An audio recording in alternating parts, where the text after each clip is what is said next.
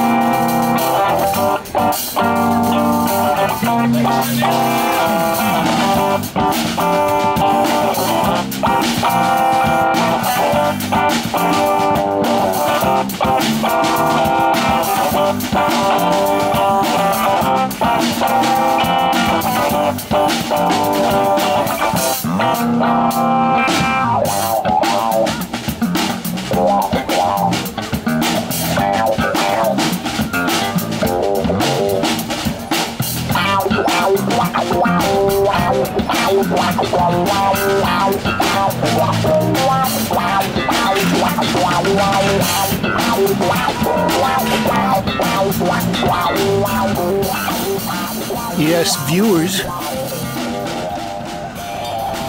we're back.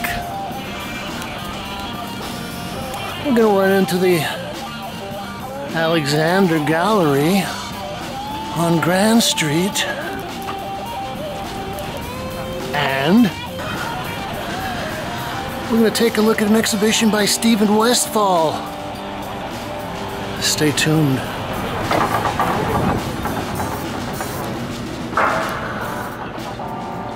Okay. Do I have to show my vaccine passport? Well, we uh, displayed our vaccine passports, put our masks on. Actually an installation piece. You said threshold?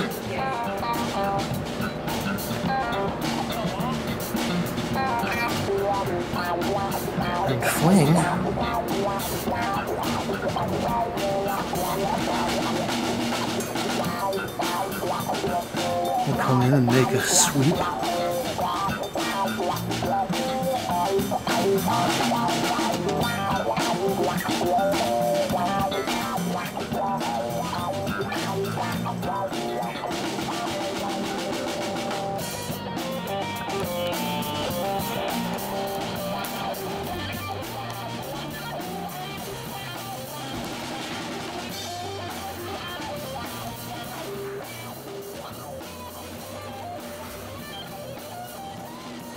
Now, I've been bumping into Stevens since the mid 80s.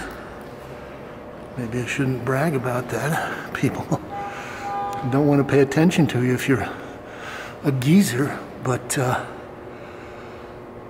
I think Steven was kind of involved with the East Village scene back then. He was doing some writing. I think he wrote for Art in America, some other things. Is titled Spring 2021. Oh, and I was told that the title of the exhibition is Persephone.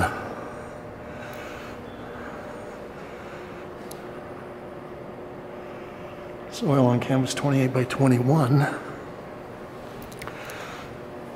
Well, uh,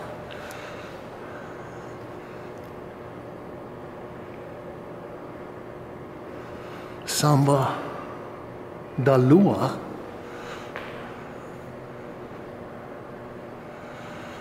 Stephen actually wrote a an essay about one of my exhibitions at a little gallery I worked with called Gabriel Briers.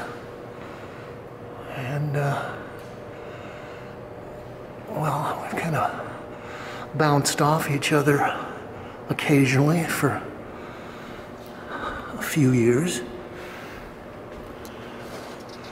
I actually covered at least a couple of his exhibitions, and uh, well, I like what he does, and uh, I think he's a pretty articulate uh, champion for painting, especially his particular variety of painting, which, well, it's funny, he started out as a very kind of formalistic abstract painter. This is Persephone's Lava Light. It's 24 by 18.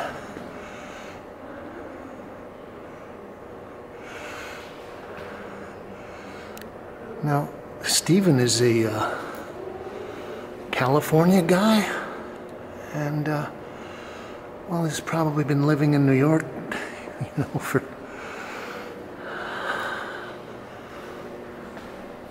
thirty-five years, something like that. But uh, I think there was, there is a uh, of, uh, a California sensibility in that. Uh, Stephen is kind of influenced by what I would call the, and has been called the California hard edged painters. And uh, a lot of people think that the uh, hard edge painting started with people like Frank Stella, and it was kind of a carry on from uh, the Stijl, Mondrian, and those people. And uh, maybe some of the Russian constructivists, but uh, as far as World War II, post World War II art and uh, American art, this was all kind of uh, codified by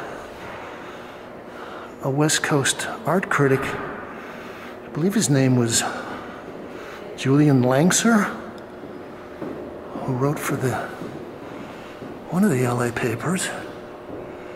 And uh, he identified a group of people that were working in California, I guess mostly Southern California. John McLaughlin was one of them. Uh, a guy named Fredericks Hammersley.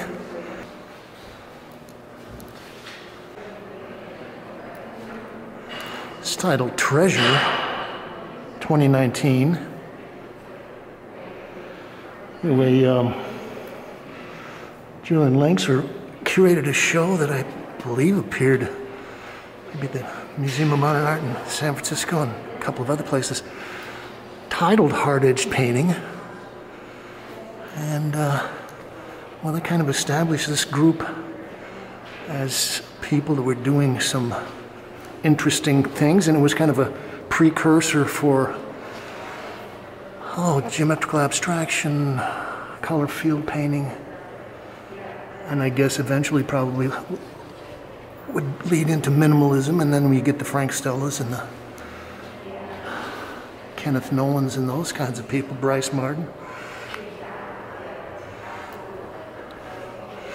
I've talked to Stephen. You could probably go back in the files. He's curated some shows, Lennon and Weinberg, and he uh, talks a little bit about some of the uh, classic California hard edge painters.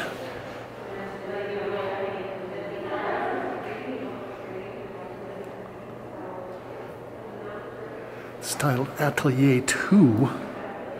It's 84 by 72.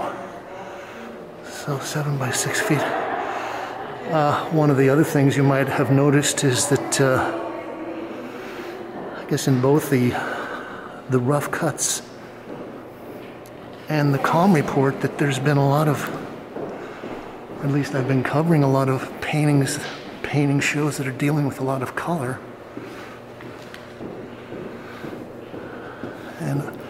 I don't know whether that's kind of a trend, maybe a reaction against some of the uh, figurative painting that's been happening, zombie figuration. But uh, a couple weeks ago, we saw a show by James Ulmer, who's doing figures but using a lot of color things. And uh, Andrew Masullo had a show we covered. Amanda Church. And of course, Stanley Whitney.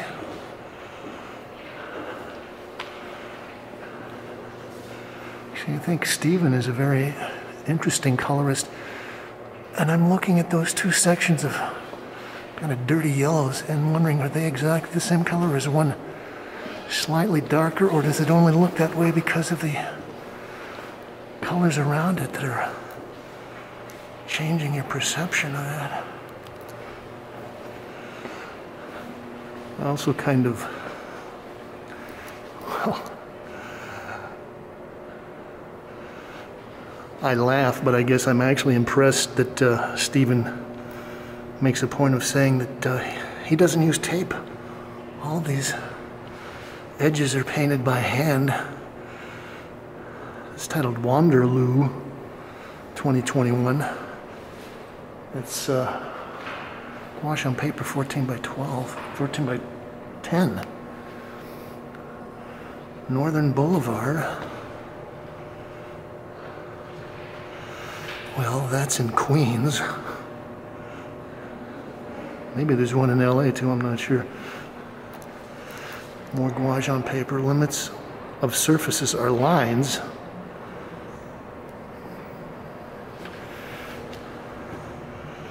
I guess there is a certain uh, nice humanistic quality that you get when you're not painting with tape.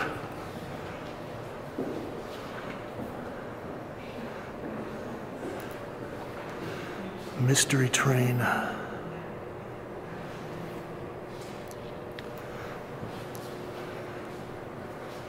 Okay, here's a couple of nice vertical pieces.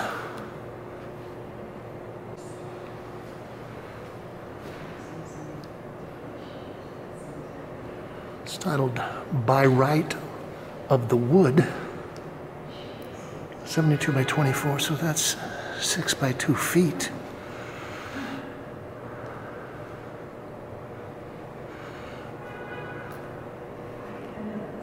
Think Stephen is also one of the people that uh, understands how to use white and off-white. A lot of color painters that I've been watching, it's like uh, they play all the keys in the middle of the keyboard. You know, if you had black on one end and white on the other, they kind of stand the middle. There. Stephen is not afraid to go to the top or the bottom. I was thinking the other thing that uh, I enjoy is titled Song. Oil and Alkyd on canvas. About Stephen is that, uh, you know, he's very articulate, very um, cerebral. And as I said, he started out as a pretty uh, overt formalist, and uh, one of the things that I noticed has happened is that the his formalism has got a little, it's gotten a little wonky. He's kind of uh, playing some games and uh, of goofing around things so that uh, some things are just a little bit out of skew. This is a good example. Just enough out of skew to make them interesting. We'll go and finish up in the back room here.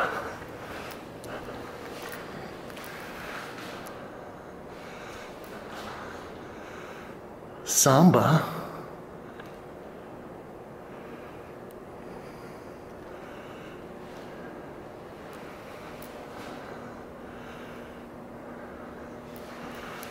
Never a clean break. I don't know where Stephen lives now, but he used to live not that far away from me in Red Hook, down at the very bottom of the hook.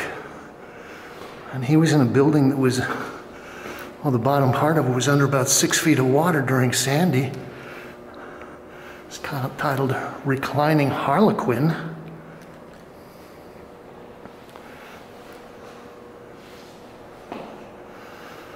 Sword of Connoissance.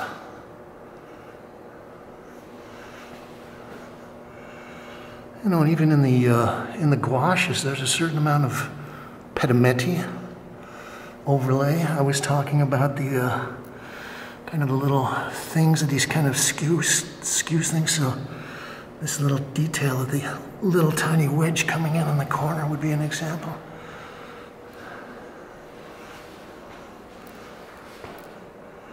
This is Veil 2 2020.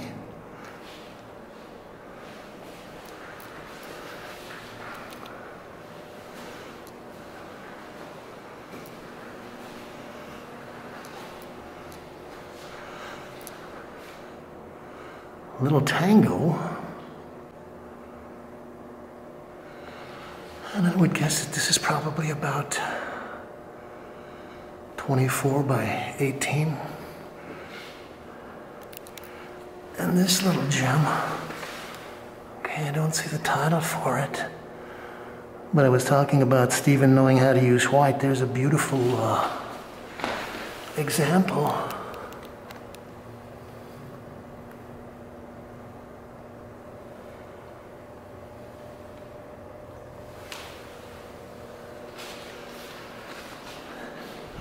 We'll finish off our tour looking at this piece.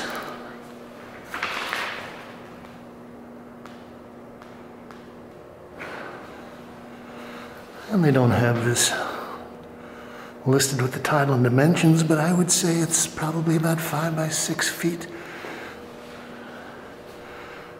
Okay, now here is a painting that doesn't have any white. Doesn't need it either. And yes, okay, you can sort of see that. Uh, yeah, Stephen is painting with a little brush, maybe a half inch wide, three quarter inch wide.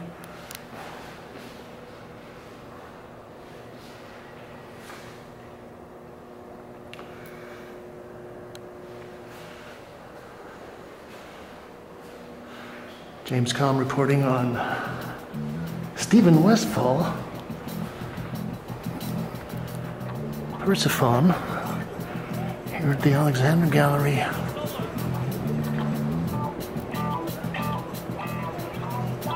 On Grand Street.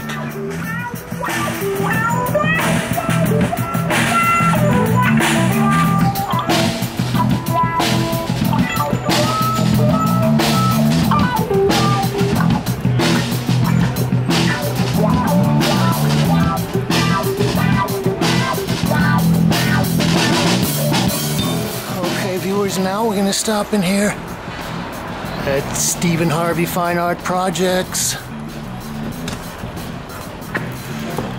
And we're gonna make a run through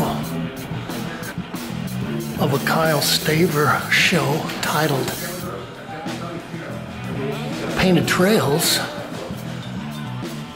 Okay, so most of these are intimately scaled mixed media drawings. Uh, we've followed Ky- Kyle's career for the last, I don't know, 10 years. I think uh, Steve might have been one of the first people that we uh, caught up with Kyle's work at, his space here. This is titled Valkyries, Mixed media, that was 9 by 12. It's titled Dolphins. Most of these are 9 by 12. It's watercolor.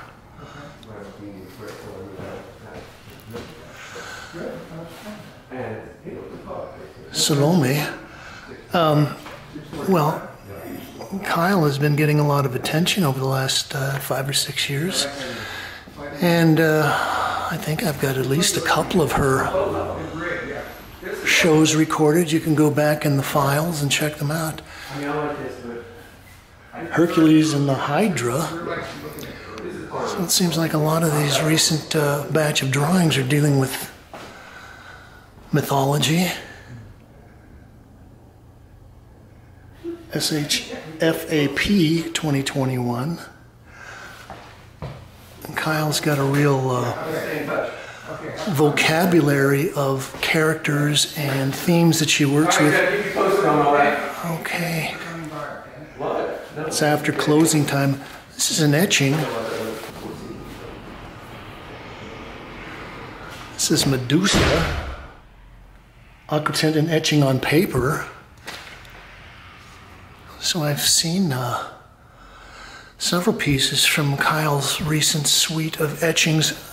I think it was at the Michael David Gallery out in Bushwick. It's titled Miss America.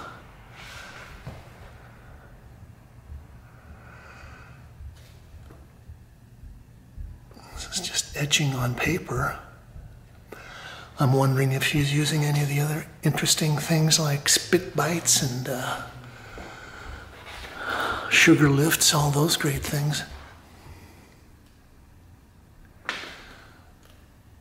So this is Valkyries. One of the reasons I like looking at uh, Kyle's work is that she has a theme. She'll kind of work it out in various mediums do a drawing, do an etching, do a small painting, a large painting, maybe flip this or that around, change them. I don't know who she's working with for her etchings, but she's getting some pretty rich darks in there. It's Venus and the Octopus. 10 by 8.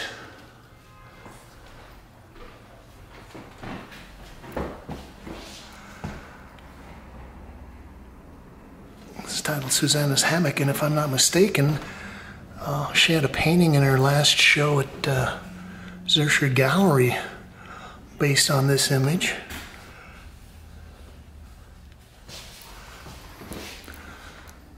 A nice little pair of pieces. Titled Daniel's Head, oil pastel on paper. I think one of the things that has attracted a lot of people's uh, attention, or has attracted Kyle to a lot of people's attention, is her uh, use of light. A lot of her figures, are use kind of a backlighting, and uh, it ends up kind of almost uh, changing the the subject's flesh into some kind of transparent alabaster, maybe something like that. Got a bunch of uh, pencil sketches.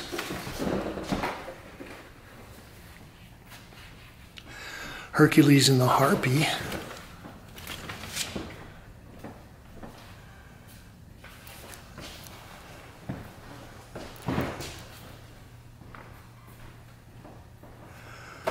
It's titled Ascension.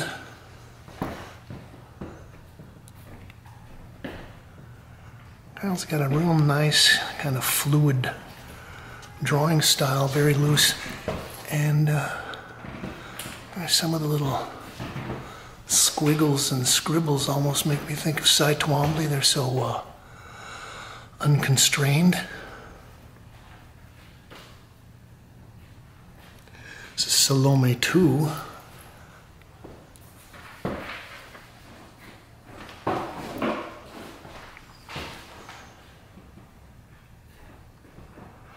Christ on water. It's actually great. This is like going through her sketchbook here. It's titled Dance with Me. And you can see a lot of uh, smudging and erasure.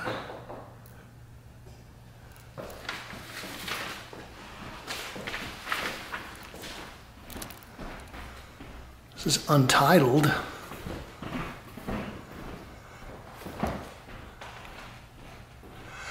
I think the other thing that's kind of uh, interesting is that uh, Kyle's working with very uh, kind of a mixture of biblical and mythical themes and images, and uh, but she always keeps it kind of a uh, childlike, almost uh, naive depiction of the figures, and but she's able to really uh, lay out a nice dynamic composition. I like this one. It makes me think of some of the uh, Renaissance equestrian statues that you would see around Rome.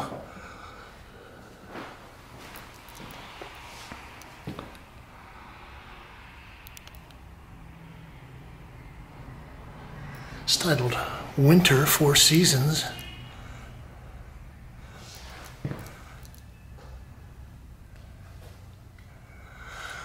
Okay, well, I don't see Santa Claus. That's a good sign.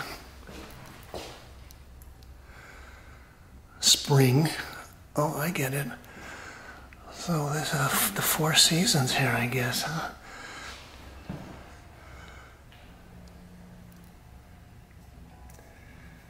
This is 2020. It's 11 by 8 and a half.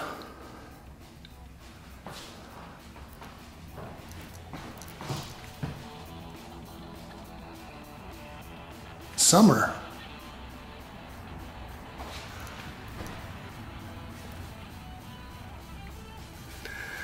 So they're just calling this mixed media, but I would say it's uh, graphite, watercolor, and maybe some uh, china white on paper.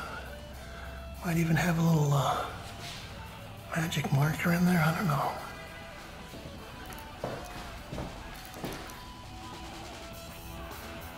This is fall. Yes, with the the mallards flying south and the deer. Well, that was a little walkthrough of Kyle Staver, Paper Trails, here at the Steven Harvey Fine Arts Project. You can like this, share, post it at all your social media sites, and you can subscribe. You can leave your thoughts, ideas, comments, criticisms, and reviews below. We just ask you to say, as always, thank you, Kate.